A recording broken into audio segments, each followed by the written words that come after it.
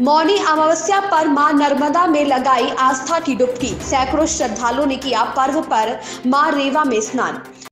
नमस्कार, आप देख रहे हैं सीआईडी न्यूज़ तो मैं हूँ आपके साथ ज्योति कनौजिया। आइए रुक करते हैं खबर की ओर। मौनी अमावस्या पर्व पर 9 फरवरी शुक्रवार को पूर्ण आस्था व विश्वास के साथ माँ नर्मदा के कोटेश्वर घाट व मेघनाथ घाट पर माँ रेवा में स्नान, दान व दीप दान कर सैकड़ों श्रद्धालुओं द्वारा हर्षोल्लास के साथ मनाया गया। हिंदू पंचांग के अनुसार माघ मास के कृष्ण पक्ष की अमावस्या तिथि को मौनी अमावस्या मनाई जाती है। मौनी अमावस्या को माघी अमावस्या के नाम से भी जाना जाता है। मान्यता अनुसार अमावस्या के दिन स्नान और दान का विशेष महत्व होता है। मौनी अमावस्या पर नर्मदा किनारे श्रद्धालुओं की भीड़, नर्मदा स्नान और पूजा अर्चना के बाद दान दक्षिणा अर्पित कर, पुण्य अर्जित कर श्रद्धालु ने दूध घृत, शहद, अक्षत, रोली, चंदन, पुष्प, सुगंध, धूप, दीप और नैवेद्य समर्पित कर पतित, पावनी माँ वेकल सुता का विधि विधान से पूजन अर्चन किया।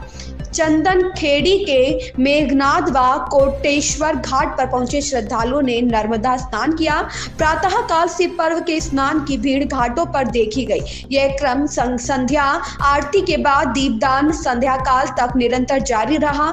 मौनी अमावस्या पर्व पर माँ नर्मदा जी में स्नान कर पूजा, अर्चना व आरती कर प्रसादी आए हुए श्रद्धालुओं को वितरण की गई। नगर के विजय भावसार धन्ना लाल लच्छेटा सचिन सोनी, विशाल बाबा, ईश्वर ब्रजवासी, गोपाल सिरवी, भगवान पंवार, गट्टू राठौड़ चंदर सिंह, अलावा दीपक, छोटू, सोनी, शिव ठाकुर सहित अनेक श्रद्धालुओं ने आस्था के साथ लगाई माँ नर्मदा में डुबकी।